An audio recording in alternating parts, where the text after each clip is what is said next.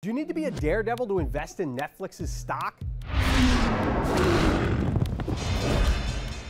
Netflix is on a tear. The streaming video giant stock up 85% this year. Shareholders obviously very happy. Daredevil is the latest hit for the company, and they've got three more shows planned based on Marvel superheroes. So Disney and Netflix now best of friends, and that's to the benefit of Netflix shareholders.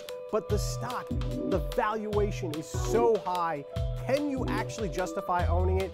People have been betting against it for a long time and they've been continuously wrong. When you look at the subscriber growth, both domestically and internationally, Netflix seems to be worth it. It's not just the Marvel superheroes, they've got House of Cards, of course.